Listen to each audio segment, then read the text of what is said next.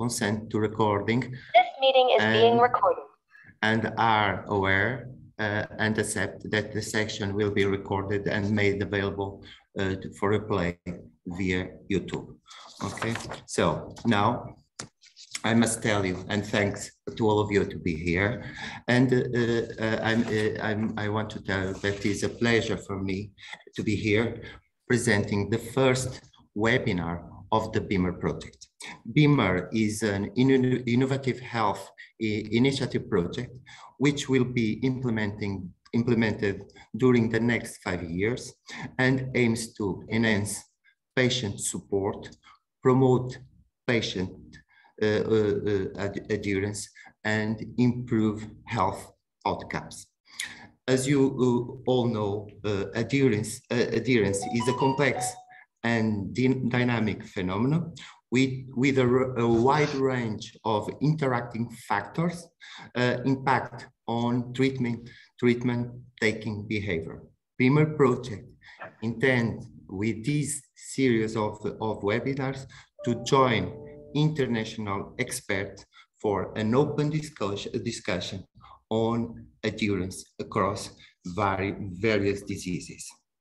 For this first webinar, we have the honor to have here three very important speakers uh, on this field that are members of the expert advisory board of Beamer project. Uh, and for us, this is a, a good moment and a, a, share moment uh, uh, of knowledge on, on, on adherence. To start, I have the pleasure to, of presenting John Weinman, which is Emeritus Professor and Co-Director of the Center for Adherence Research and Education of the King's College in, in, in London.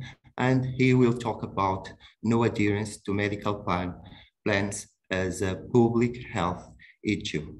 John, thanks a lot for being here and the floor is yours. Good, thanks, uh, Elísio. Um, I'm now going to uh, attempt to share my screen. So I'm hoping, can you see my first slide? Yeah. We do, yeah. Good, great, good. Oh, well, thank you for the invitation and, uh, and it's good to be here and uh, hello everybody. Um, so I've never spoken to this title before, um, and it's an interesting one to think of medication adherence as a public health problem. You know, we usually look at it as an individual problem and so on. So it's sort of going to be partly my usual talk, but um, following me, um, you know, the talks from Rob and from Job will, will overlap a little bit with some of the topics I'm going to raise in this talk. So quick overview of, of what I'd like to present with you today. So just to, I think, you know, when we're thinking about a public health issue, we need to think about something as having impact. Um, you know, what, what is this thing which is affecting quality of healthcare, patients' health, and so on. So I'm going to briefly start with thinking about the sort of impact of non-adherence. And I'm sure that's something which uh, Job will talk about um, in the third um, of these talks when he looks at the health economic uh, impacts of non-adherence. Then I'm going to, again, briefly talk about uh, you know, how we can understand the nature of the problem, um, you know, what causes non-adherence. And again, I think Rob will, will go into much more detail in that. And then from a, if you like, from a public health point of view, I want to think about some of the barriers that exist in both patients, healthcare professionals, and healthcare systems, which maybe get in the way of providing adherence support. And, and uh, the very last part of my talk, very briefly, I'm going to think about the sorts of public health solutions that could be applied um, to improving adherence. So I think one of the um, really good recent papers, um, everybody knows the WHO paper on non-adherence, that in a way really sets the scene for thinking about non-adherence as a public health problem. But one of the other good, really good working papers in recent years has been the OECD um, health working paper, which came out uh, four years ago now, OECD, if you don't know it, is the Organization for Economic Cooperation and Development. And they bring out working papers uh, very frequently about major issues um, which have impacts on, on society from very much from an economic perspective. But their, their paper on looking at adherence um, really, I think, sets the scene for thinking about um, non-adherence as a public health issue. And they actually have a quote, or they quote two or three times in their paper. They talk about non-adherence being a major public health problem because it contributes to, well, they estimated then 200,000 premature deaths in Europe every year, major health consequences and major health economic consequences. And some of these figures are down there.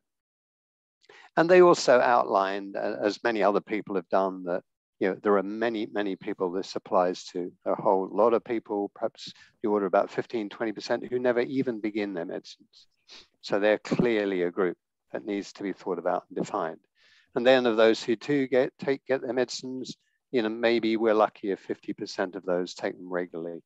Uh, and then, uh, you know, of those who even take them regularly, two years later, if they're on a lifelong medication, um, half of those people won't be taking the medication. So, you know, in public health terms, this is huge. It's huge in terms of the number of people it applies to, and it's huge in terms of the impacts that it has on people's well-being and health and on healthcare systems in terms of budgetary and other costs.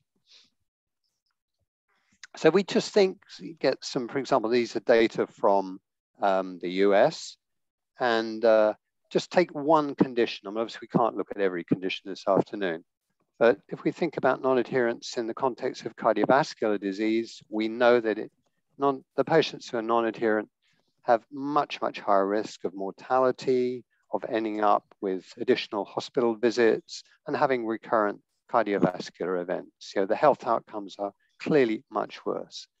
Um, they talk about, and this, these are data from Ian Cronish and, and colleagues from oh, about almost 10 years ago now, and they talk about 125,000 avoidable deaths each year in the US alone. That figure is clearly higher now. And they talk about 3 billion potential savings. Again, the figures, if you think about the figures from my last slide, um, these figures vary hugely. And I think Job, um, in, in the third of these talks, will spell out in much more detail some of the different sorts of health economic impacts of non-adherence. And um, th this typical figure we see for patients on long-term medication, 40 to, 40 to 50% of patients being non-adherent um, in cardiovascular disease. So briefly, and I don't want to um, overlap too much with Job's talk, but um, really taken with this fairly recent systematic re review from Cutler and colleagues looking at some of these economic impacts. They looked at, this is a systematic review where they looked at uh, almost 80 studies across a whole range of disease groups.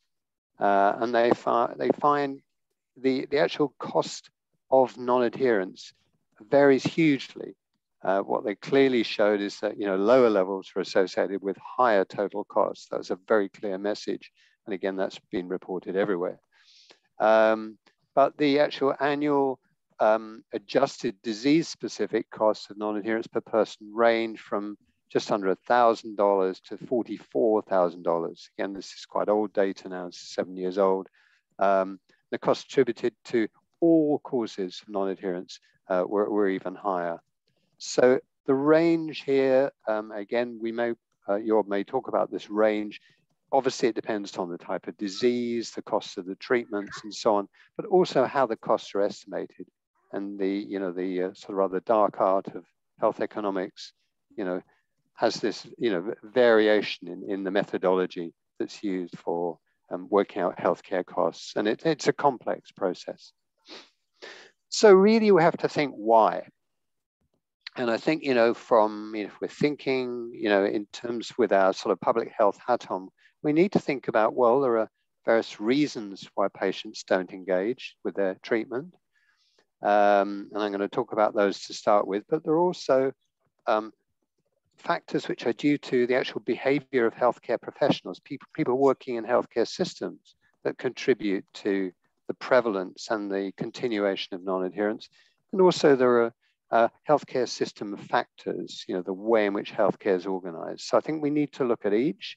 Um, and so if we start out by thinking about patient behavior, and if we go back to the early days, and the early days, when I'm talking about the early days, which is sort of more or less when I started in this area, which is sort of right in the, oh, we've got some, uh, somebody with their microphone still on. Um, anyhow, uh, the, um, yeah, in the sort of early research on non-adherence, probably, you know, 1970s, 1980s, and a lot of that early work was really based on the idea that non-adherence was just basically a result of rather poor communication in healthcare. That you know somehow the right sort of information hadn't been given, or patients hadn't understood the information they'd been given, and that this really affected the ability of the patient to remember and and take their medicines.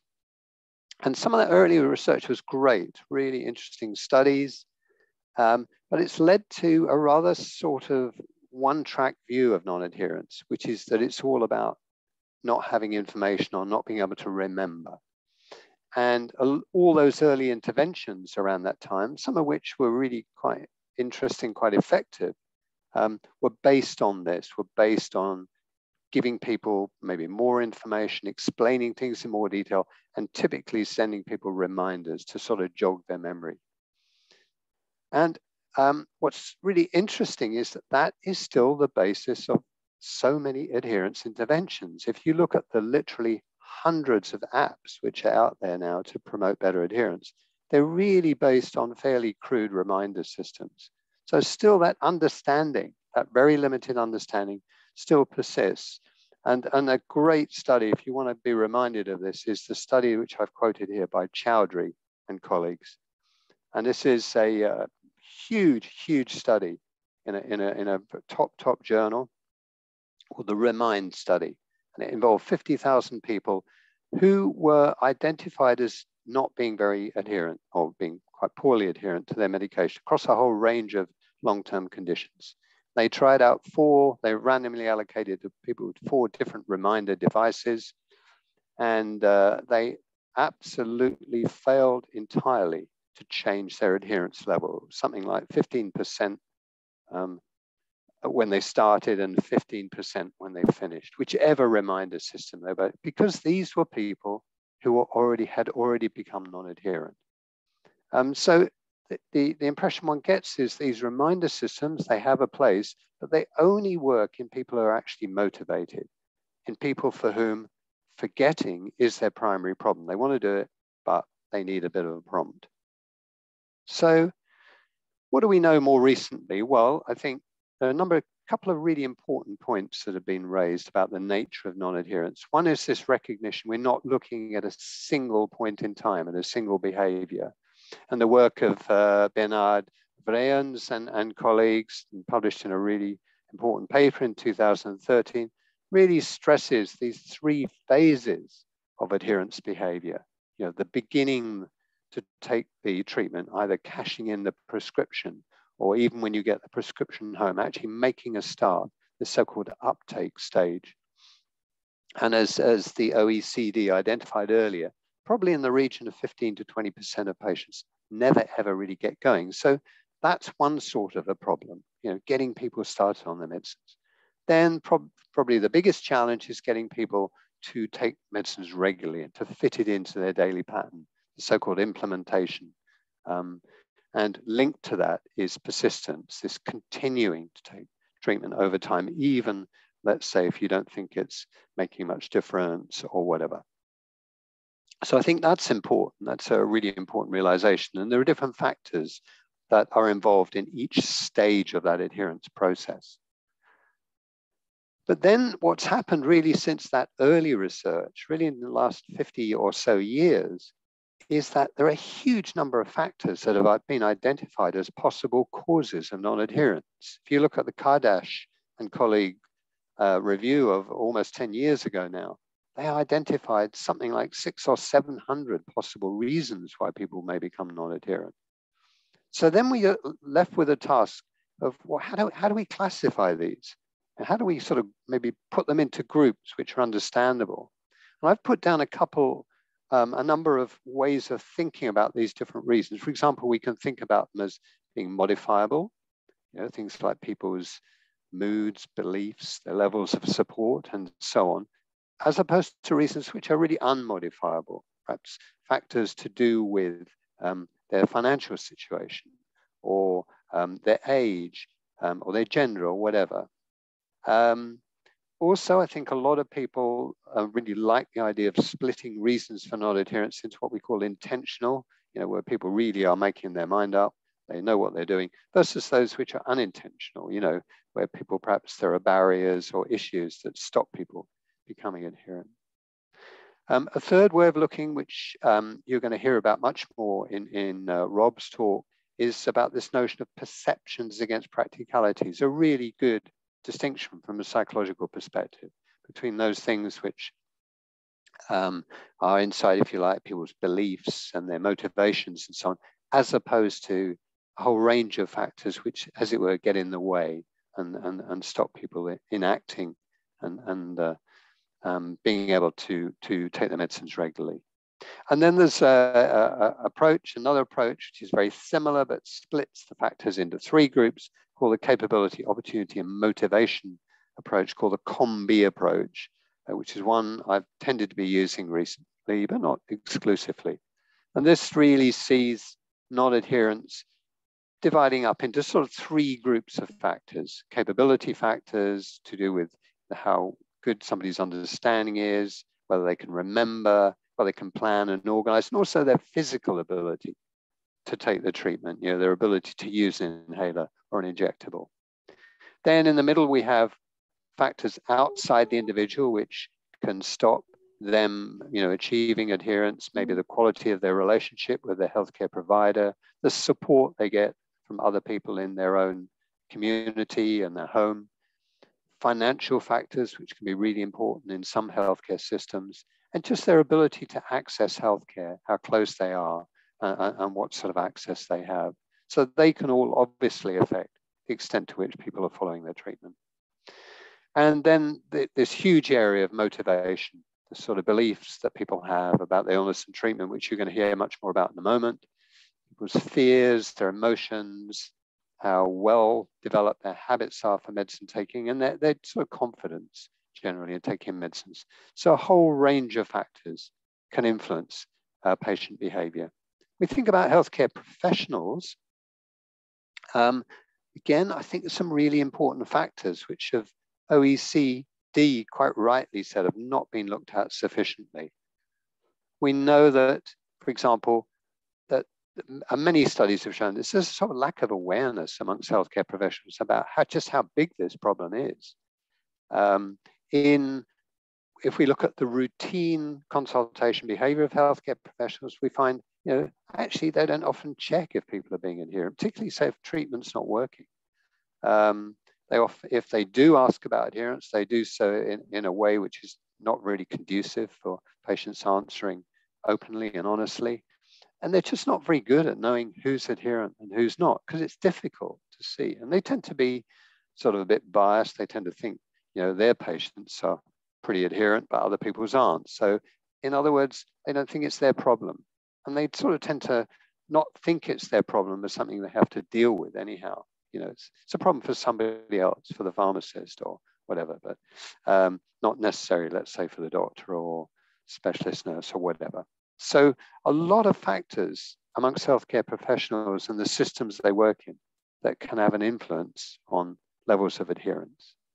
And then if we think about healthcare systems, I think we're thinking about particularly here the barriers. And some of these overlap a bit. So if we think about routine healthcare and the way routine, you know, day-to-day, either hospital or general practice consultations are organized, again, I think, you know, what one sees in health, general healthcare practice, as I said earlier, a lot of people don't see this as part of their job. So it's not factored into the healthcare system. I said, you know, it's probably not, the, the prevalence is, is underestimated. Um, it's not, if it's, if it's approached in healthcare, it's often done so in a way which is not conducive to really good patient support. And also, I think there are a couple of other reasons. I think our healthcare professionals are not well equipped to manage the different reasons underlying non-adherence. Don't really understand the different sorts of factors that can influence patient behavior. And many complain they don't have time in routine appointments. In fact, indeed, if we look at GP appointments around the world, you see actually huge variation. There's a couple of really quite interesting data from interesting studies looking at how long GP appointments are. Now, obviously in Europe, um, you know, GP appointments tend to be sort of 10 minutes or longer, but, you know, it's a huge variation. In somewhere like Sweden, you know, people have 20 minutes on average with their GP. Um, whereas if you go down to different parts of the third world, you know, in, indeed, including China, you know, this is down to literally minutes, one or two minutes being the average consultation. And so, you know, time is an issue and time is a challenge. And it's a challenge for healthcare systems, I think, as to how to factor in that time, how to make that time work. So these huge adherence problems don't just disappear, um, you know, un unattended, as it were. Also, I think healthcare systems are, present barriers to patients too, partly because of the way healthcare uh, consultations are organized. And I think what we know from patients, they often end up hiding non-adherence from the clinician um, because they, you know, they don't wish to disappoint their clinician or get told off. There's something about patients seeing their role here as, you know, wanting to be good patients. And so they tend to be defensive. If they're, if they're asked very direct questions, you know, do you take your medicines? We know that very few patients who are actually non-adherent uh, will actually say that. So that's, you know, it's a real fault in the system. It's a terrible um, indictment of the system that it creates this sort of barrier for patients. And uh, when, you know, we, we know from studies of consultations that these motivational and opportunity factors are rarely addressed. You know, if anybody takes on adherence in a routine consultation, the focus usually is on giving more information or you know providing some sort of reminder system like a special pill box or whatever. So if we try and put all this together and think about what are we trying to do, if you like, if we think about non-adherence as a public health problem, as you know, something which goes way beyond the patient, but really is very endemic to the whole pattern of healthcare I think one can think of, and this, uh, this is not an exclusive list, this is just me really brainstorming.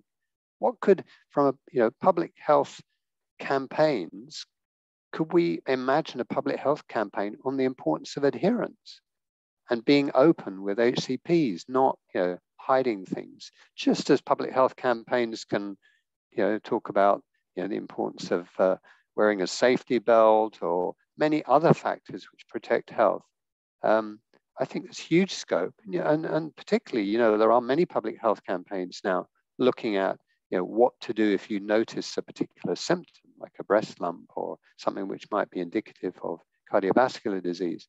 So I think drawing the public's attention to this, and I'm constantly stunned by conversations I have with people out there in the communities, friends, people I bump into, uh, and so on, who really don't know the extent of this as a, as, and the size of the non-adherence problem. If we think about healthcare professionals, what we can do, what are the sort of solutions there? Well, clearly, I think very much it's an issue around training create much better awareness amongst healthcare professionals of the problems of non-adherence, the extent, and to improve their skills in both being able to pick up non-adherence and to support patients um, in, in taking their, their treatment. And I think for healthcare systems, really, I would see them as really needing to prioritize adherence support within routine healthcare. One of the things which the OECD report did was to look at the 36, I think, countries who are represented by the um, OECD and look at whether any country was actually making any serious attempt to look at non-adherence and to build it into healthcare practice, routine healthcare practice. And to be honest, none were doing it. There were little bits and pieces, um, but really none were doing it. So I think there's huge scope. One thinks with a public health hat on for changing the, the whole picture of the way adherence is, is dealt with in, uh, by healthcare systems. So thank you very much. Um, apologies for going slightly over time, uh, but that uh, is all I really wanted to present today. John, thank you so much for your uh, important presentation and for the this knowledge that you share are sharing with you with us. Uh, in the hand of the three speakers, we can put some questions to, to, to them. So now we go, we have now Rob Horne, which is professor at uh, University College of, uh, of London, and he has developed a range of tools uh, and models for assessing patients' perspectives of illness uh, and treatment. Uh, the, the, the questionnaire on beliefs about medicines and the medication adherence report scale, the MAR scale, have been developed by Rob. So, Rob, uh, it's a pleasure to have you here now, and uh, let's uh, talk about adherence-related beliefs and barriers. Thanks a lot, Rob. Thank you very much, uh, Elísio, and to John for an excellent uh, opening talk um, in, our, in our session. So I, I'm going to try and share screen uh, for a moment. I hope this works. And uh, yes, I think so. Um, hopefully you can all see uh, the screens there. Okay. Um, so my brief is to talk about um, adherence-related uh, beliefs and barriers. And I'm going to try and follow on from uh, John's sort of comprehensive overview of this from uh, a sort of public health challenge, um, but and to focus on four topics really. Um, and understanding the nature of the adherence cha challenge from the perspective of individuals. Um, I want to present a behavioral model, model for categorizing barriers, something that John's already introduced and then talk about the fundamental role of beliefs in adherence and the implication for solutions. So as John has um, pointed out, we really need to focus um, on this complex issue. And it's really interesting to see it as a public health challenge, actually. And as John said, you know, we need to get better at optimizing the healthcare system in terms of our policy and practice, patient and provider interactions.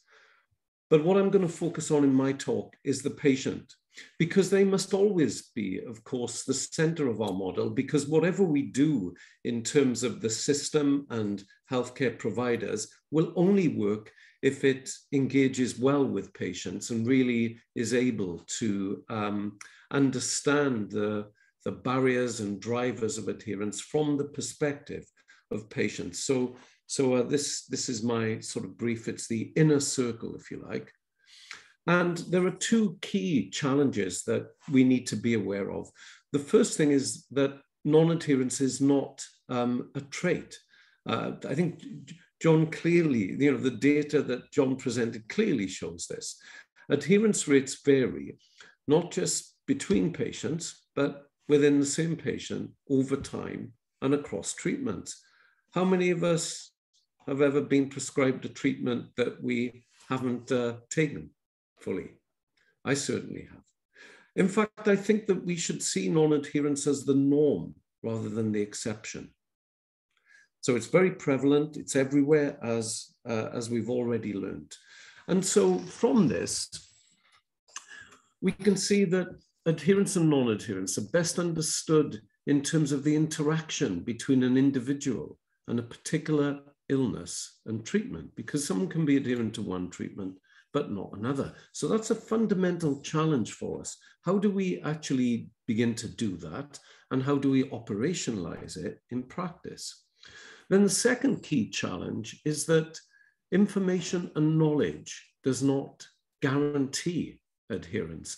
Whereas, as John pointed out, a lot of the interventions that we're still doing are based on uh, information, telling people how to do it, and also reminders, of course. But this is of limited effect. It's not unhelpful. Obviously, people need to understand what to do and how to do it. The point is, it doesn't really nail the problem. We have an information action gap, and information, in order for it to result in action, needs to bridge that gap. So, the kind of way that we can approach this from a behavioral science point of view is to ask about the nature of the gap. And as we've learned from John's talk, there are very many reasons why people might not take medication. But actually, they boil down to two things, in my view, two key components, and that is can't and don't want to. Now, that is an entirely obvious interpretation, isn't it? You don't need some behavioral scientist to tell you that. But actually, failure to implement that basic insight is why non-adherence still costs us billions in terms of uh, wasted treatment and impact on uh, health. So if we dig a little bit further, I, I see the basic ingredients of adherence as being two things. Really, we have to understand it in terms of motivation and ability. Now, when we look a bit more closer at this, let's take the orange circle, ability. Non-adherence can be unintentional when the person wants to take the treatment, but they're prevented from doing so by barriers that are beyond their control.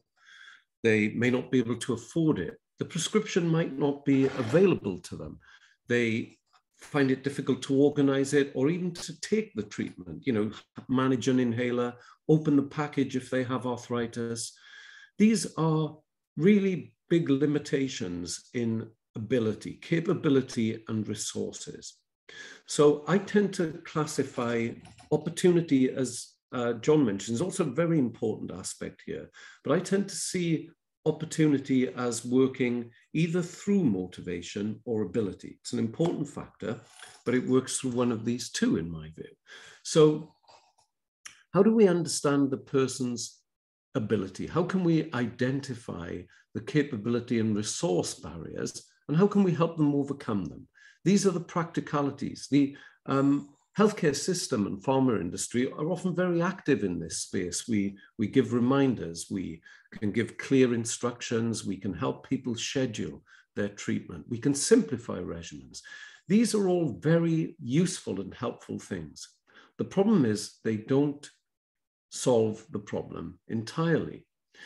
And that is because much of the non adherence is actually not because the person can't, it's because they don't want to. And it's in the blue circle. It's intentional, if you like. And it, in order to understand that, we need to look in a different space at the perceptions that drive our motivation to start and continue with a treatment, the beliefs, emotions, and background biases that tend to determine whether we think taking this treatment is a good idea or not. And that often is absolutely the missing ingredient in adherence support. If we apply this simple framework, which we call the perceptions and practicalities framework, then the implication is that for everyone prescribed a medicine, particularly for the long term, we should identify whether they have perceptual barriers, whether they have practical barriers, and tailor adherence support by taking solutions off the shelf in a package that addresses the perceptions and practicalities that are relevant for them. But we rarely do that. That's the bad news. The good news is, I think we could actually do this far more um, extensively and improve adherence by tailoring support.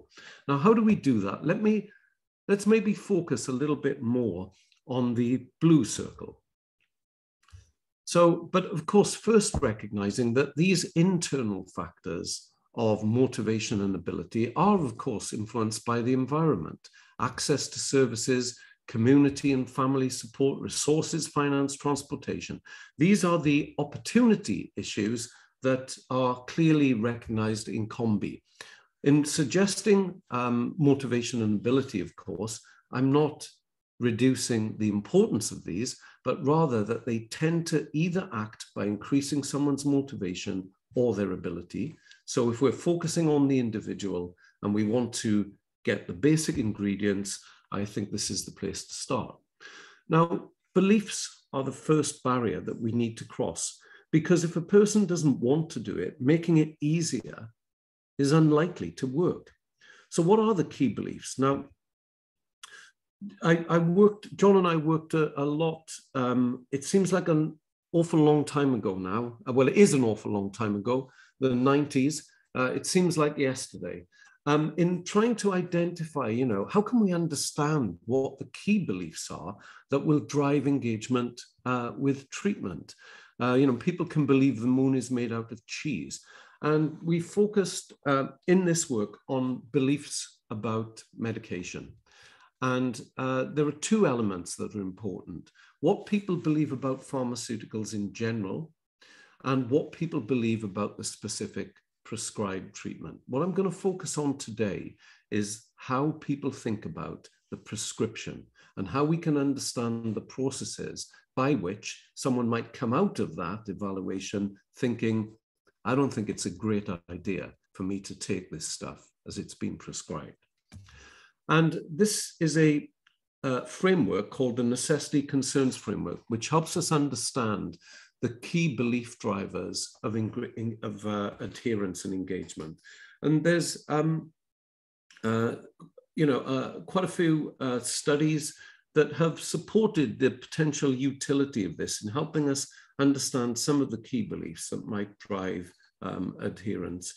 And uh, let's uh, look perhaps at what we mean by necessity beliefs. So a necessity belief is not the same as believing the treatment will be effective or um, beneficial. It's rather the answer to two questions that the person asks themselves. How much do I really need to do this to achieve something that's important to me?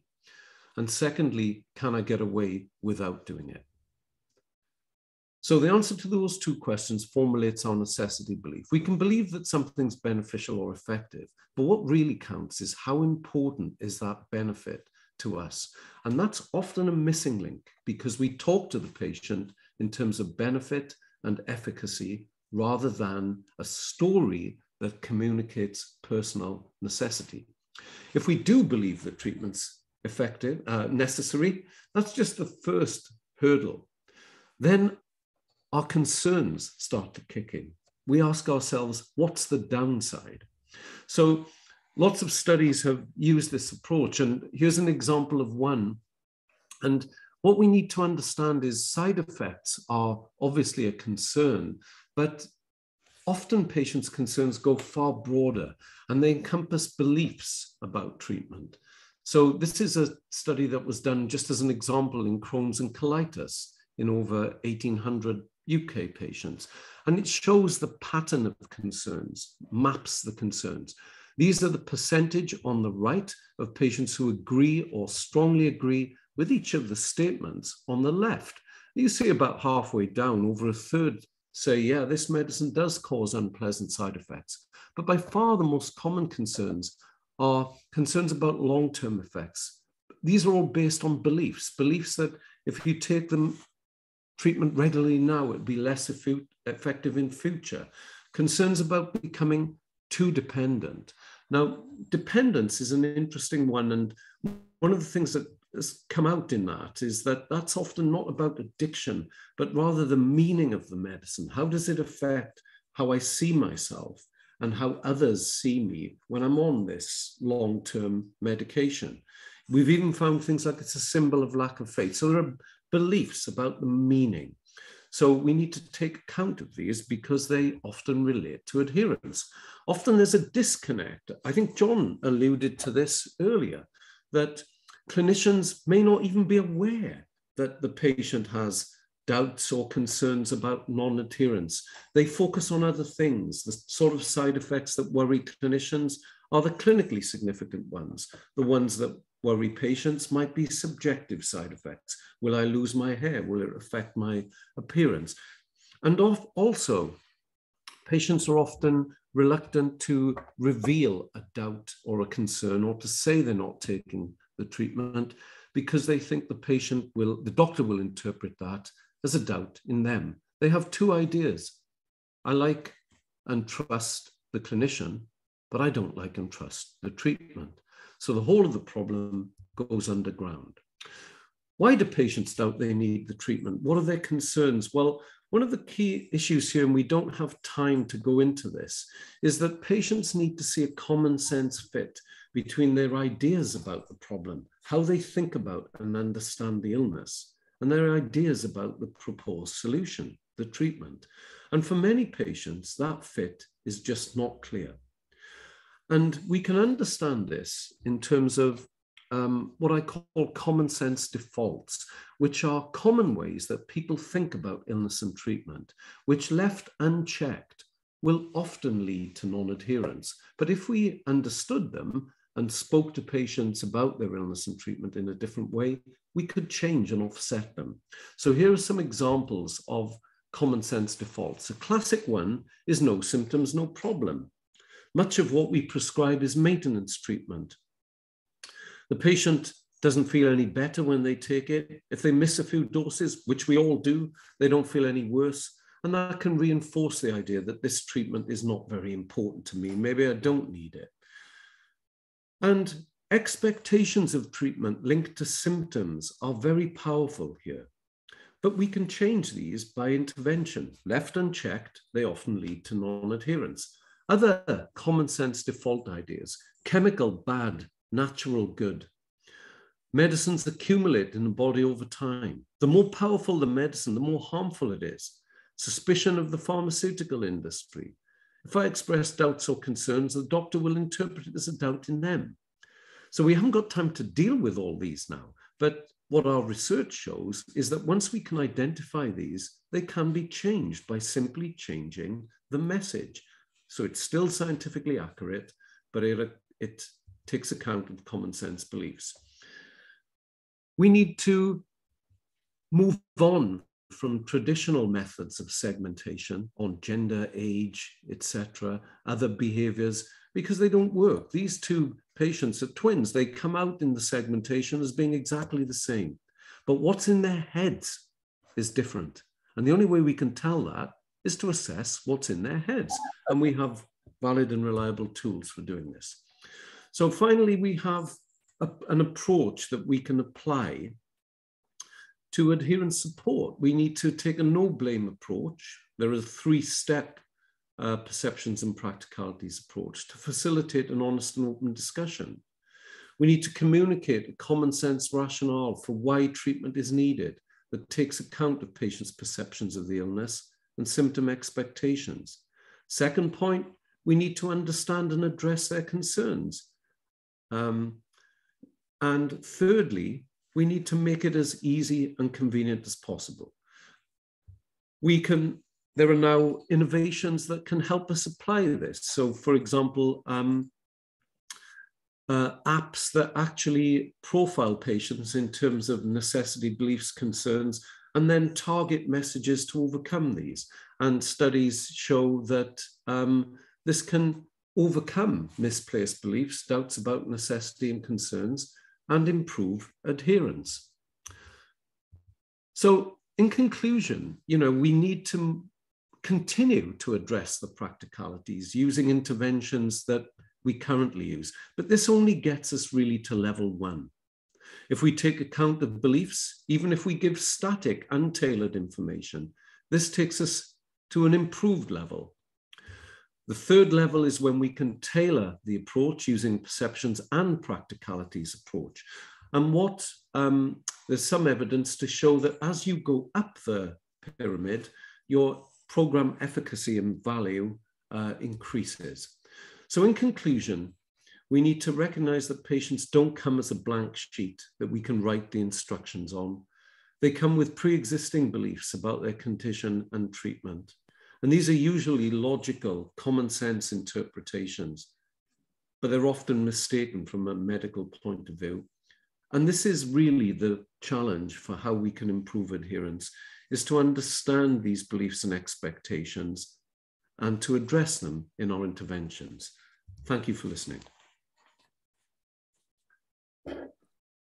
Thanks a lot, Rob. Was excellent presentation uh, and uh, with a lot of information that we can in the hand to discuss and uh, take opportunity. So uh, finally, we have with us uh, Job uh, van Boven, which comes from Uni University Medical Center of Groningen. He is a health economics and real world drug outcomes expert, and he is also the founding director of the Medication Ad Adherence Expertise Center in the north of Netherlands. And he is also the, um, the chair of Enable Cost Action, uh, which is a, a, a, a network, a European network with 39 countries enrolled, uh, and this is a cost action on adherence. And uh, it's a pleasure for me to have you here and uh, to present uh, and to talk about the clinical and economic impacts of no adherence. Uh, so, thanks a lot, and uh, the floor is yours. Thank you, uh, Elísio, and also uh, thanks to to Rob and John for such excellent talks that really set the scene. But for me now, it's a challenge um, that because there's an overlap to go more in depth in, in, in some of the issues raised around the economic and, and public health impact, which I will try to do. Um, so I would like to take you along the, the true broad clinical and economic impact of medication non-adherence. And basically this picture would already tell you a lot. Um, I hope you can see my screen. Yes? Yes, okay. So here you see uh, an, an, elder person being uh, admitted to, to the hospital. You see it's a white bar on the face because only for criminals it's black bars, but for patients we should also be cautious in not identifying them. But this is a patient uh, with, with, with asthma admitted for the third time with an, uh, a lung attack, an exacerbation. Uh, Job, uh, sorry, real quickly, I think we are still seeing the first slide because you're not in presentation mode yet. Oh, okay, um, how can I go to presentation mode? Stop sharing. Share again, probably. Yeah, try one more time. I think it froze up. All right, yeah, so now you see it? Yes, perfect. Okay, thanks for letting me know. So again, here you see um, uh, this patient being admitted to the hospital for the third time with a lung attack and exacerbation this patient is being prescribed multiple medications, but you expect poor adherence. And already here you see the direct implication probably of not taking a medicine is that your disease will worsen. You get admitted to the hospital and face it, um, many hospitalizations cost money. You don't always have to pay directly in, in many countries, um, at least in my country, but still one day on, on, on uh, in the hospital is a few hundred euros per day or up to over 1000 euros for more intensive care units. So already this is a direct impact. Also, if this person would be low uh, at a, a, still working age, this patient is not able to work. So you see some indirect impact on, on, on the society of, of, of not being able to work. But there's some hidden features also that we not always expect related to non-adherence and that's on the next page so my question here would be i will give you two scenarios what would be the most cost-effective approach for this patient uh, if you would be the treating physician. So here you have the treatment choice. So you would have the pharmacological substance you could choose. You can cho choose the dose, the regimen, the administration route, being an inhaler, oral therapy. And then you can look at um, some of the asthma outcomes for this patient, their quality of life, exacerbations, lung function. So some of the approaches many healthcare professionals take is they somehow might know that the drug is not fully working um, and, and but yeah they accept they cannot measure that properly so they accept it and the most intuitive thing to do is okay the patient is still uncontrolled with this drug uh, add another drug so or you increase the dose this is another economic consequence of uh, non-adherence to the first drug, which is resulting in the prescription of a second drug. And that second drug is often uh, more expensive or giving more side effects as well. Another option would be to say, okay, I understand adherence is an essential element to understand drug response and to practice personalized medicine. So I assess adherence, try to improve it probably, and make an informed treatment decision. So I take into account the factors that are driving um, the discrepancy between the treatment you're prescribing and the expected outcomes you would see. So you take into account your use, maybe to take into account some comorbidities or, or some genetics we're not talking about, but many uh, physicians still fail to take into account the behavioral aspects in their treatment decisions. And they, they maybe look at sometimes at some pharmacokinetics, but still medication adherence is a huge uh, aspect of, of personalized medicine. And then you'll get some very nice algorithm that has been proposed in the European Respiratory Journal some years ago by, uh, by uh, the group of Richard Costello. So you could, good insights into adherence helps clinical decision making. So instead of saying, okay, this person has persistent symptoms, yeah, I increase the dose or add the treatment, which would happen regularly in, in uh, about one third of patients without knowing adherence. But if you know that adherence was not good, you could still focus on improving adherence first. For others, if you don't see complaints and adherence is good, you might even think of reducing the dose. So again, some economic benefit here. And for some patients that have no complaints and no adherence, probably they don't even have the disease and they don't need the drug at all. Again, a possibility to reduce costs as long as you properly measure adherence. So there's more than just the direct parts. But the challenge here is improving adherence. For who would this be relevant? And basically, you have heard this in the talks of John and Rob as well. Non-adherence is uh, highly prevalent in any of the chronic diseases. The WHO always the report mentions the 50%, so around half of our patients, and you see different ways of measuring, but generally speaking, around half of our patients can do better. And these are also figures you have seen before. So for the uh, for Europe, it has been estimated that non-adherence has been related with 200,000 premature deaths and 125 billions of potentially preventable direct costs like hospital admissions, emergency care, additional consultations, and also for the US, similar figures are, are being mentioned. Note that these are highly dependent, of course, on the cost categories that are included and even the years that they were published. published. So the 105 was an earlier figure, and 10 years later, uh, an update uh, of the New England Institute was published already, uh, almost tripling this amount to 290 billion US dollars. And not even including some of the additional indirect costs. We'll get back to that issue. And here we're talking about a real world impact of, of, of non-adherence. Also, we have the trial setting, the clinical trial setting of pe people often believe that in clinical trials, non-adherence is no issue. Um, they, they basically assume these are so strictly selected these patients, and these are also strictly monitored and sometimes even removed from a trial if they are non-adherent. But still, 10 to 12% does, take, does not take their treatment uh, during a clinical trial. And also in long-term clinical trials, people remain people, so they will stop treatment at some point. And also here's some economic gain because clinical trials are super expensive.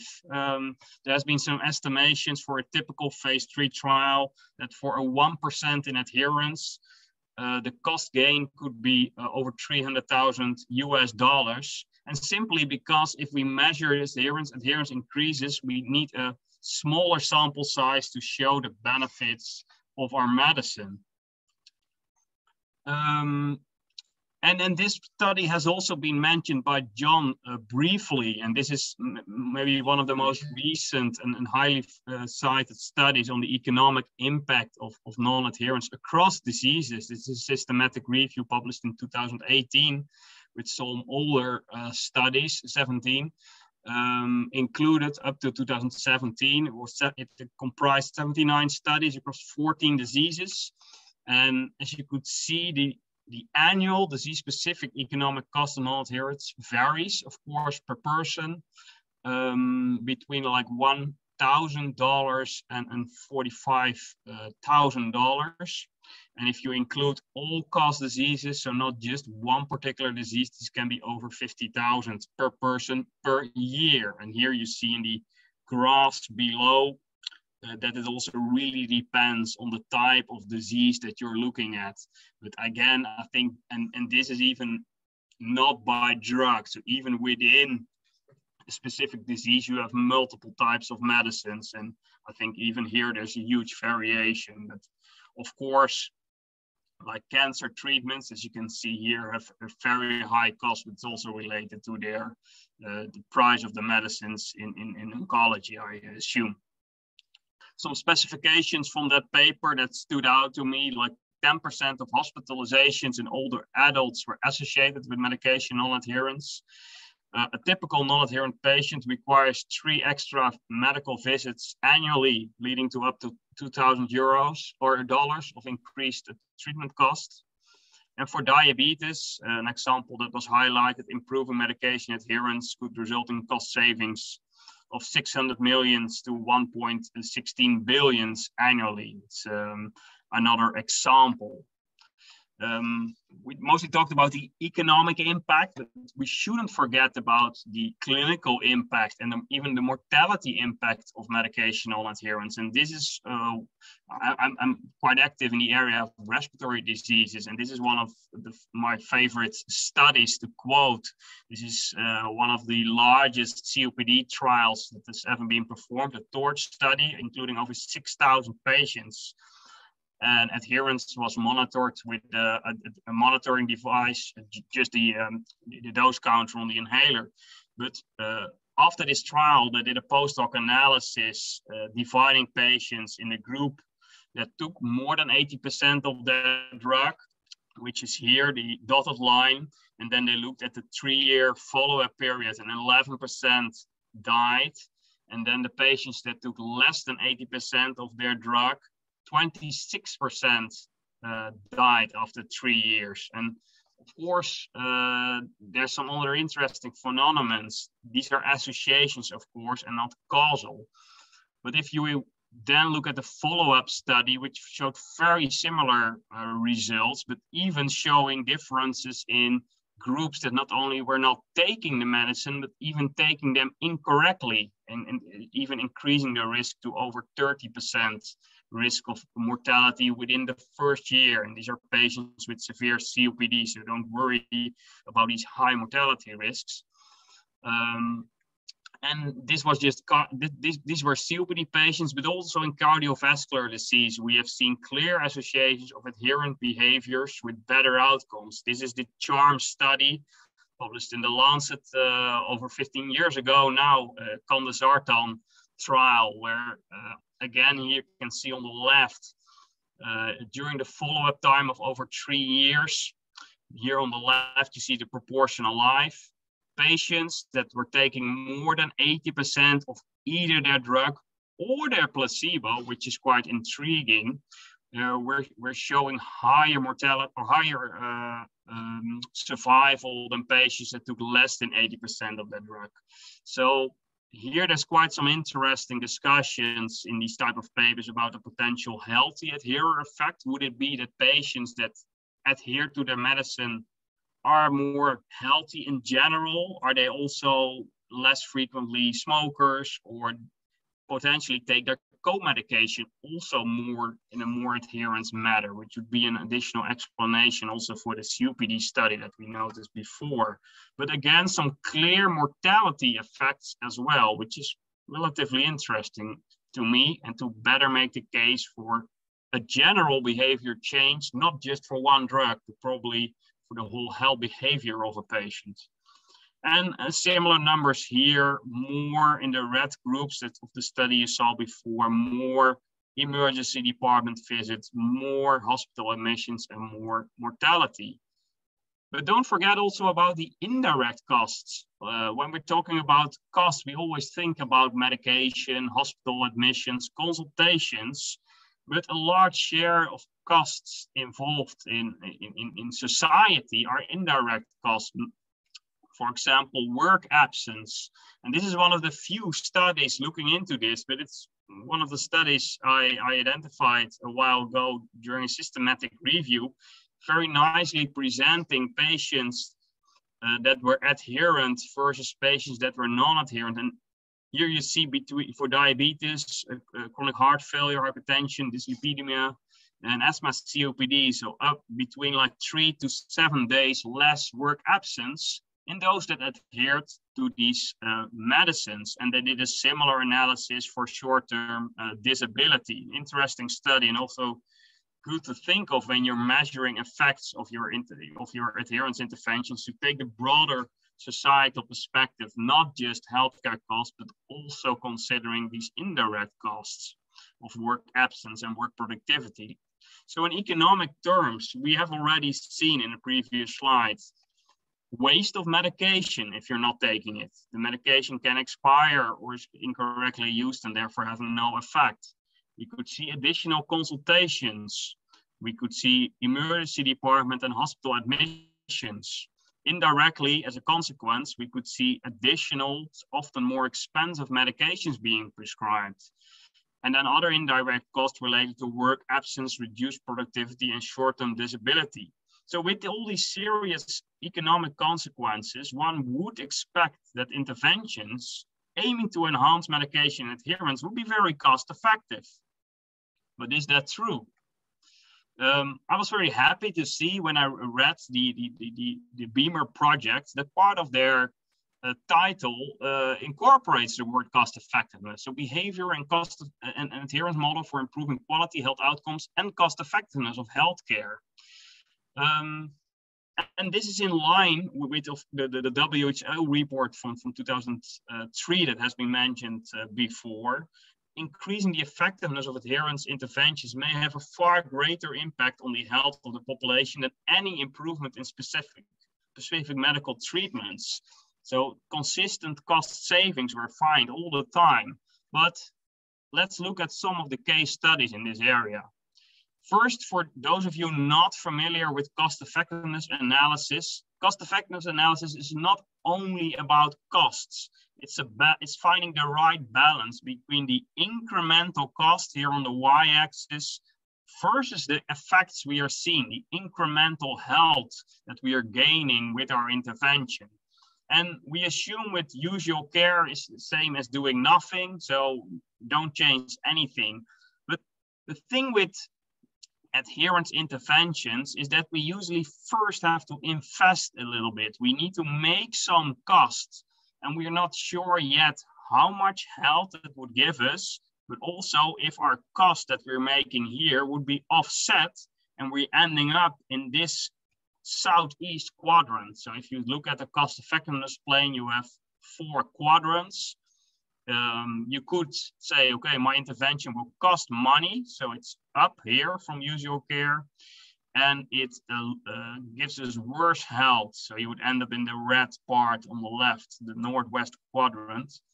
On the southeast is where we all want to be. So we want to save cost and gain health. So the green southeast part. Quite often we actually we we turn up turn out turn out to uh, to be here in this part, and this is more part where policymakers have heavy debates whether or not they should see an intervention as being cost effective or not. So this depends on how much money are we willing to spend to buy some additional health? Is this 50,000 uh, per like additional life year or even a quality adjusted life year or only 20,000? And, and these are some debates we, we are still finding ourselves also for for a cost effectiveness analysis of, of adherence enhancing interventions because there are some very effective ones. Some have been proven to be cost effective even. As you could see here, this is an example uh, of, of, one of the studies I did a few years ago on an adherence enhancing interventions for COPD. We noticed some um, some additional cost at the beginning to provide the intervention of 77 euros. This would increase adherence, so also medication cost. But we had uh, considerable savings that offset all the costs, all the investments we did at the beginning and ended up in savings of 227 euros per year for, for patients being part of this intervention. So it was a very cost saving intervention. And this was for COPD, but again, also for years and HIV a very nice trial of Marijn de Bruin, also showing cost savings uh, for patients. We have seen the same in cardiovascular disease. Um, in, but however, if we look at systematic reviews of cost effectiveness analysis for, for adherence enhancing interventions, we see notable differences in the quality of the cost effectiveness analysis being performed and also the effectiveness is not always shown for adherence interventions. I think Rob nicely laid out that we still sometimes are stuck in our one size fits all interventions like, so let's send reminders to everybody because not, not everybody is needing reminders if they don't believe in the medicine. So we're still also still need to figure out how to make our intervention effective and even if cost effectiveness is shown, it's not sufficient for implementation and reimbursement. This is because insurers also often ask about the budget impacts and not all, so the, the affordable expenditure, if they would be going to provide their interventions to uh, a total population or maybe a subpopulation. So they look at the size of the eligible population, the treatment mix, the cost of the treatment mixes and the changes in condition related costs. So always think about a budget impact analysis as well, besides doing cost effectiveness. And how to optimize cost effectiveness. I've been thinking a lot about this and here I try to summarize a little bit and it's in line with some of the models, of course, and how we can personalize and target our interventions. So we need to in my opinion, we need to look at big data and, and, health economics first to, to look at risk stratification. Who are the, what's the low hanging fruit? Where can we uh, have the, the, the, best, the most of the savings? How can we make sure we are targeting the, the, the non-adherent population? How can we monitor them? And we have increased possibilities there with, with e-health nowadays interventions need to take need to be personalized to the patient behavior, as, as, as Rob uh, very nicely explained, and can pos possibly be supported by by e-health and m-health. And then uh, one of the other challenges, the implementation. We need to talk about awareness, as, as uh, John said at the beginning. Still, many of us are not aware, and healthcare systems are not aware of the issue. We need training for professionals. We need integration in systems, and most importantly, we need reimbursement of adherence enhancing interventions because else people don't have time. You notice the five minutes consultation. You cannot do the whole uh, PAPA model, for example, that, that Rob presented in five minutes. I think you need much, much, much more time. Um, so I'm very happy to see um, that the, the, current European projects, the ABC project, the Enable project, the cost action, and the Beamer project have some cost elements uh, in there. And I hope this could uh, really bring us further in also building the right business case for our adherence enhancing interventions. So in conclusion, non-adherence is frequent, results in significant clinical and economic burden. If adherence can be successfully improved, this can be a very cost-effective strategy. Medication adherence data integrated into decision support between patients and healthcare providers can help enabling cost-effective and personalized healthcare and we have to admit, implementation of adherence uh, support uh, remains a big challenge. If there's any questions, here's uh, our website of our center, adherence at UMCG, and the cost action you can see at enableadherence.eu or the cost action website. And this is a list of uh, some of the references that I provided. Thank you very much, and, and I'm looking forward to our uh, discussion. Thanks uh, a lot, Joe, for this uh, really fantastic talk. And uh, we, we, we go now to open the discussion. Um, I will ask to the people that have already posed some questions in the in the chat to switch on their camera and to do the the the questions themselves because I think it will be important to to to to have uh, a conversation and uh, a really um, share of knowledge. So we have here already a first question. Um, so I, honestly, Anupala I couldn't pronounce this name. it's okay. Sorry for this. Onupama. Onupama. Uh, okay. Hi. Hello. Hi. Uh, I actually have two questions. I think the first question is actually pretty much common sense, but I just don't see it in the policy and decision makers as much as I would like I what I wrote in the chat that when we talk about enabling patients to adhere to the treatment, you know, they probably need much more support than a five or 10 minute consultation with the doctor. So maybe they need a longer conversation and doctors can't do that, but we can provide with other uh, paramedical professionals like maybe nurses or paramedics or some other kind of um, care professionals, whatever is possible within the healthcare system. Uh, so when uh, we always bring up these things, the, the question becomes, okay, then it will cost a lot. But I think um, what uh, the last presenter showed us, the, what is the actual cost of non-adherence and how big that can be, then, then the common sense question is, how much would it cost to invest in this kind of profession, creating uh, supporting services for the patients to increase adherence versus what we are um, having as the burden of you know um, non-adherence? Uh, that's the first question and open to all the presenters.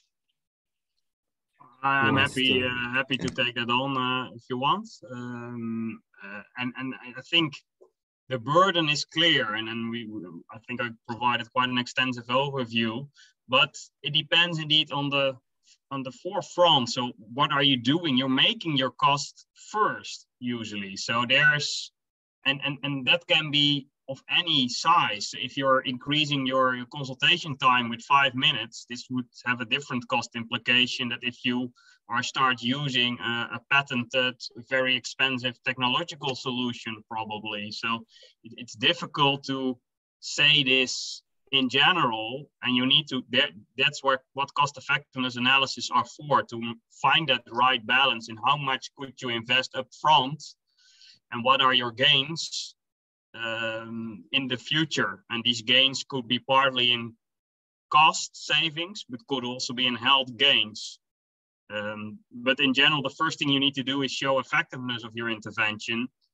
And if it's effective, your second step is, is it also cost effective? And then if it's cost effective, is it affordable for, uh, for society to buy that interventions and integrate it into a healthcare system? Then the next step is also can everybody implement it? So do you need to train your, your workforce, your, your healthcare professionals? So it's a stepwise approach and, and the business case is might be different for, for the, the interventions you're talking about.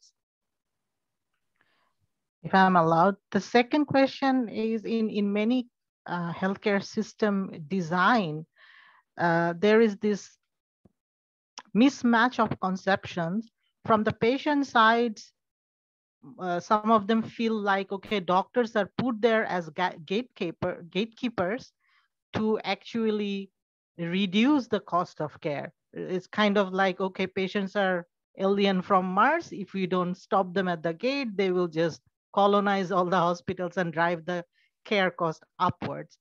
Uh, how can we or is, is there any advice from you to change that concept to okay the doctors are not put there as gatekeeper to keep the cost down. They are put there to increase the health and value in value in health for patients and the wider society. What what can we do there to uh, um, you know improve adherence by perception change?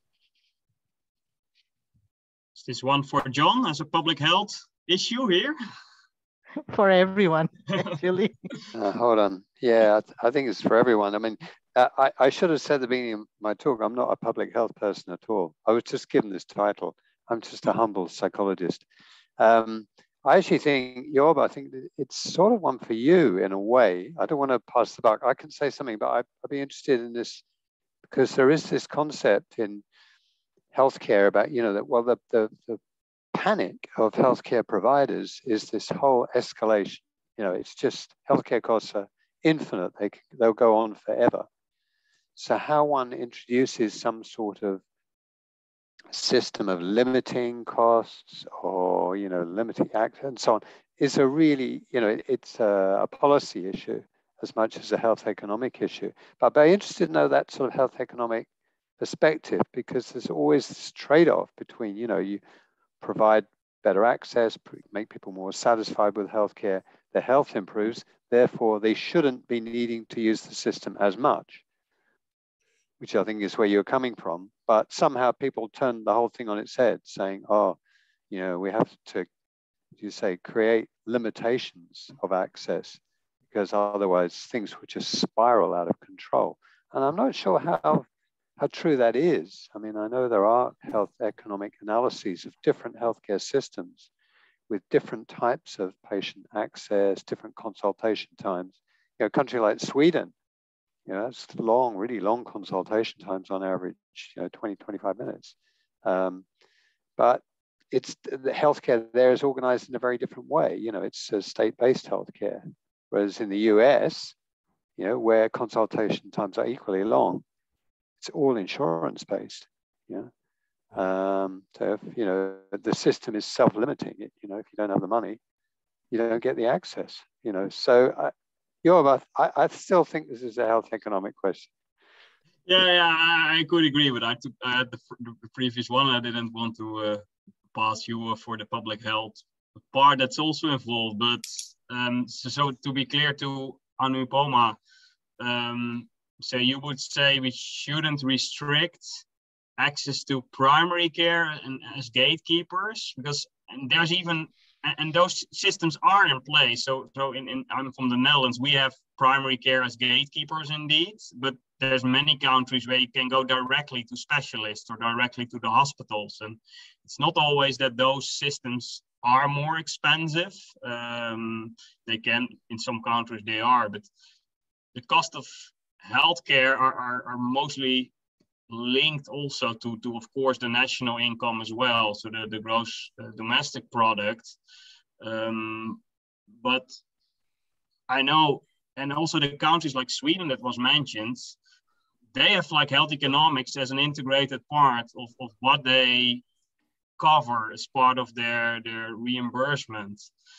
Um, this is also important. And the problem with adherence interventions that, that, that, I stressed in my presentation is that they're usually not reimbursed.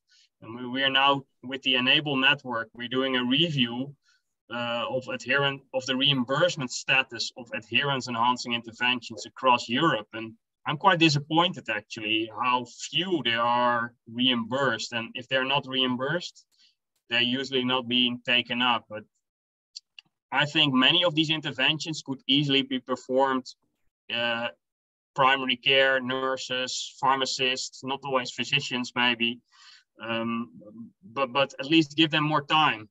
Um, and then I, on the long term, it will definitely uh, pay off. Can I, um, can I come in there, Job? I, I just wondered if we can take a different perspective on this because we're saying, like, we're assuming that better quality adherence support will cost more. And um, I think I, I would um, agree that there may be additional costs, but I'd also kind of challenge that. I don't think we can make that assumption. There's a lot more that we could do, which is um, not necessarily to do more, but just do better. And an example would be I sort of skirted through it, but I showed um, a digital application where we can address people, identify and address people's adherence beliefs uh, using sort of set messages and an algorithm, that's actually going to, you know, you don't need a practitioner to do that necessarily. Also, you know, it's about making the best use of the available time. So if we were better able to identify the real barriers to adherence, including beliefs, and uh, have better ways of overcoming those, then we could do it quite efficiently, I think. So the increasing cost of good quality adherence support may not be as big as we think. It's not, we just need to do it differently. So the pharmaceutical industry, for example, spends an awful lot of money communicating medicines to patients, but generally it's done inefficient, ineffectively, and quite badly. So doing that, you know, putting some of that resource into doing it better, likewise with health services. So, uh, you know, we've looked at pharmacists delivering adherence support over the telephone, and that can be uh, effective. So I think it's, I would be optimistic, actually, that we can do more without necessarily, you know, really, really having to invest huge amounts more. We just perhaps need to do it differently. So, um, you know, that's not to say that all the economic points that uh, Job was making are, are, are, they're all relevant, but I think it may be the costs that we need to be worrying about may not be as much as we think, and we, we might want to look at it from that angle as well. I agree, uh, Rob. Overall, this is going to lead to cost savings. That's what we're always telling. But up front, we still need, even if you want to have pharmacists providing this or having doctors doing different, more efficient consultations, they still need to be trained a little bit to do this. Yeah. Yeah. And that will cost a bit of upfront investment Yeah. and it's going to pay off on the long term. And this is what in my conversations with insurers quite difficult often that they don't want to take that risk of they being the one investing. And then on the long term, another insurer is going to take the benefit if the patient would go over to a different insurer, for example.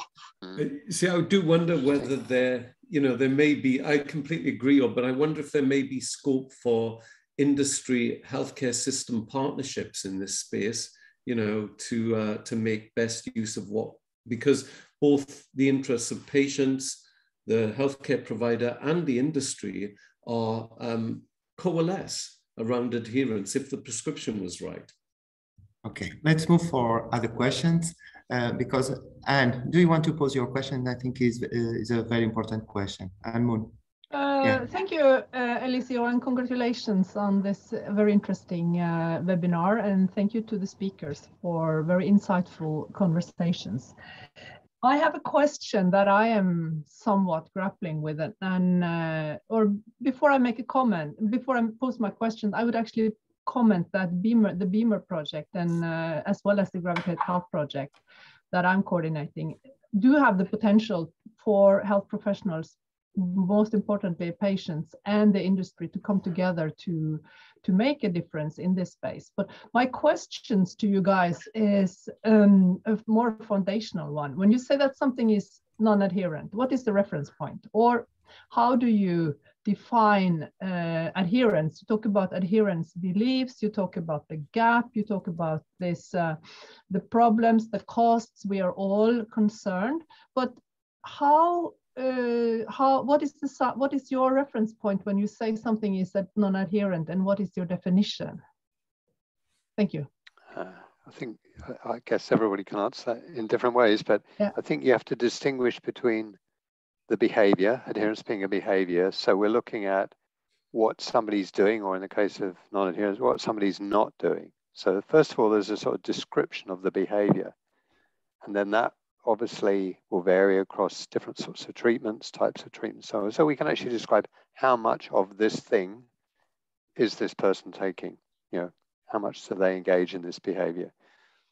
But then from a clinical perspective, and I think this is often where it starts to get a bit crude, um, how much do they need to take?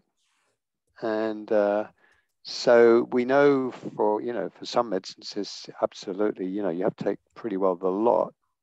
And if you don't, you don't get any benefit. So there, anything less than pretty well, you know, 95% plus is non-adherence. So there's the if, notion of, you know, effective adherence and the level that you need to take. So that adds a sort of a, a, a you know, a clinical justification. Um, and then all the other things I think we looked at were, were we were looking at trying to explain that level of behavior. So I think you know, we if we think about the behavior, we can describe the behavior. If we want to call it adherent or non-adherent, we can, or we can call it a level of adherence. So we don't use the binary classification of adherent, non-adherent, which can be a mistake. Uh, but people always like to stick with that. And if we do that, then we need, I think, some clinical um, guideline into that. But I know Rob, Rob, I know you've you've looked at this more than me. Uh, Rob, if I may just if I may just follow up, uh, what I what I'm trying to understand better is what the subjective maybe it's the subjective uh, dimensions where uh, well how do you value how do you what is the reference point for the behavior uh, that you are observing. That's sort of where i'm where i'm grappling. But yeah thank you. You mean the reference point as by the, the original prescription of the of the doctor? Well, so I, some I definitions be... say the extent to which you are following the prescription of the doctor, for example. Um, this is a definition you sometimes see, but, but as John clearly explained, it's more than that. But is this your definition when you say something is effective, cost effective, affordable, implementable? That's what I'm saying, because uh, it might be that uh, with all respect that the prescription is not the gold standard. Yeah, definitely. And, but, but that's, I think, what John clearly was saying that if it's clinically effective for that particular person, that's the question that we don't mm-hmm. always know. Mm-hmm. So we, we make an assumption, don't we, that if the prescription was uh, right for that individual, then generally speaking, if the person takes, follows the advice for taking it, it's better than if they don't. So the whole thing is predicated on that mm-hmm. idea but you can't guarantee that for the individual. And the medical system doesn't work in that way. It works based on, you know, likelihoods. So, so we can't ever guarantee that high adherence is uh, definitely better than low adherence. But the whole field is based on the premise mm. that if it is agreed between the patient and the prescriber that the prescription is the best course of action uh, for that patient, based on evidence and all other characteristics, then the degree to which the patient follows the recommendation, we assume, is really will be related to the outcome. So that's the reference point for me is, you know, how, whether the patient uh, behavior matches the, the mm-hmm. recommendation. Mm -hmm. Because if it doesn't, we assume that that's problematic. Can I pose a question about it? There is a, a no adherent, we, we can identify a profile of people, no adherent. Um, and uh, because in fact, and you tell this here, we, um, uh, we, we can be no adherent uh, uh, in the same patient using different medicines or different drugs. So the same person can be adherent or no adherent. Can we have a profile of no adherent person? No. Or all of us can be adherent and no adherent? Well, um, my, my really, um, I, I, I think it's the wrong question in a way, you know, to solve the problem because it's not, we need to understand the interaction between the individual and a particular treatment. So trying to get a profile of a so-called non-adherent patient, we'd all be in there. So it's of limited value. What you can do, I think, is to understand the key barriers and profile the individual in terms of those key modifiable barriers. I think that's where the science points us, uh, rather than trying to identify, you know, this sort of non-adherent, deviant patient. You know, I don't think it works because it's all of us at some point. also, if there's no clinical relevant issue, probably, and the patient is not taking everything, why should you intervene? So let's move because we we we are already in our time limit, uh, and I want to choose here one or two more questions. Uh, uh, Eva, do you want to do your question? Yes, thank you. Thank you very much for the presentations. I was just wondering with, uh, with regard to uh, when you mentioned the storytelling, Robin, I saw that you already posted some examples there. For me, it was really uh, how can we change uh, how can we change the stories towards the patients, towards the health professionals to to really uh, go into a different kind of narrative.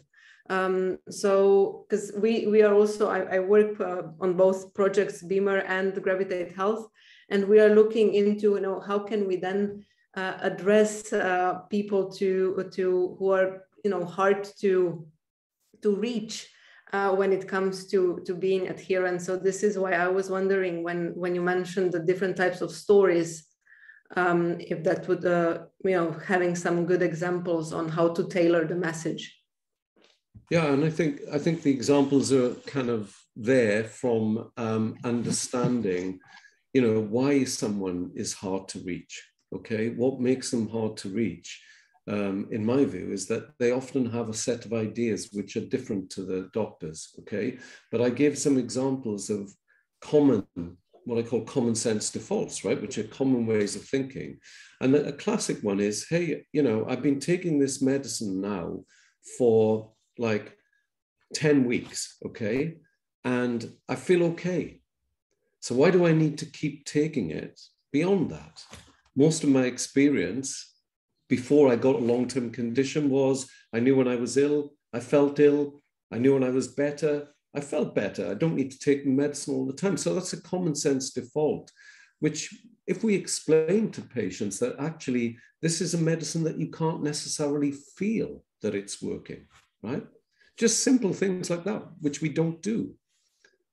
But of course, different people have different common sense defaults. So the trick is how you can tailor to the to each individual. But there's there are some advances in how we can do that. I think in the literature, uh, you know, now. Thank you. Let's move for a last question because we are. Uh, uh, Simon, Judith, you want to to to do your question? Simon. Yes, Yes, uh, thank you. Um, yes, I, I, I, put it in, in, into the chat, but but uh, I, I can ask you whether you have some experience, some results, some estimations about the, the uh, change of adherence, non-adherence rate affected by the pandemic situation. I suppose it's a, it's a, it, it was a very unexpected situation for everybody, uh, and especially the, the patients with uh, chronic diseases, they are a, a more uh, vulnerable group for uh, they, they, uh, it, it uh, has been communicated from all, all channels. And, and uh, do you think uh, it, it, it would be reasonable that the adherence to chronic disease uh, would have uh, increased, would have Im improved? affected by this situation but it is my question what, what what what do you think what whether you have some results about it thank you yeah, I've been involved in a couple of quite big studies looking at changes in adherence during the pandemic, one in diabetes, one in psoriasis. And in both cases, there's evidence um, that adherence is reduced. Uh, not mass, not massively, but it's it's worsened, mm-hmm. and for different reasons. Um, just you know, as Rob was talking about, you need to find the reasons. For in psoriasis, the reasons seem to be particularly around um, people's worries that um, by taking their targeted medication, a biologic mm-hmm. medication, they would be reducing their own immunity. They would be more vulnerable to um, COVID infections. Um, so the um, so around um, in that study, it's a very big international study in psoriasis, and around 25% uh, of patients said they had um, uh, they, they were not so adherent. I mean, it was a very simple mm -hmm. question, so, but and, and that was the most common reason. Um, in diabetes, um, it was a similar story, but the, the reasons varied. But again, there were reductions. And I think you have to think that, you know, what, what's happening in COVID, obviously people are not seeing their doctors. They're having, you know, they're doing like we are today. They're Zooming if they're lucky or they're on the telephone maybe that communication is not so effective. And uh, many people, you know, with serious conditions are, um, you know, particularly, you know, uh, may actually have increased levels of anxiety and stress and so on. And again, we know that changes in mood can impact day-to-day behavior, you know, they can impact working memory, they can interfere, interfere with planning and so on and so forth. So they're the only two insights I have. And, uh, and yeah, Judith, it's nice to see you. So yeah. hello. nice to see you, John. Yeah. yeah. Um, but uh, yeah, Rob, you may well have been other insights. Um, I think that's really interesting, John. The point I was going to make, I think you would put something in the chat about some evidence that um, asthma adherence actually increased. And to me, you see, the that, that shouldn't surprise us that we get this mixed pattern because you could imagine people uh, jo John's uh, study showed, you know, people saying, well, I'm taking immunosuppressant medicines. Surely that's going to make me more susceptible to COVID, you know, very logical, common sense. Um, but with asthma, you could see people thinking differently. This is a respiratory infection. I need to make sure I don't get an asthma attack. So I'm going to put even more attention. It increases their necessity perception for the asthma medication, whereas it increases their concern for the um, psoriasis medication. So you get mixed effect, right? Um, so I think the key to understanding the variation is again looking at how people are thinking about this in their common sense way. Absolutely. Um, everybody, I have to leave. I'm sorry. I'm I'm, just, I'm getting a rude message that I'm not in another meeting now. Um, I would prefer to stay in. I would prefer to stay in this meeting. So great, and uh, Rob will have a chat soon. Thanks. Good to see you, John. Yeah, yeah. You're, bye, everybody. Bye. Bye, Judith. Yeah. I, am afraid everybody. I'm I'm in a similar situation to John. I I also have to go now, but yeah, I really enjoyed this um, meeting and great to see everybody. And thank you very uh, much for inviting me. Yeah, it was a, a pleasure. I, we need to finish this webinar. Uh, right. has been really fantastic. Uh, share all the information. And uh, uh, I want to thank to all of you to attend this webinar. Please continue to follow Beamer through LinkedIn or Twitter. Uh, and we have our next webinar in 28th of March, uh, next month, at the same time, at the same time. And we're going to, to talk about adherence in clinical practice. See you soon, all of you. Uh, and thanks again.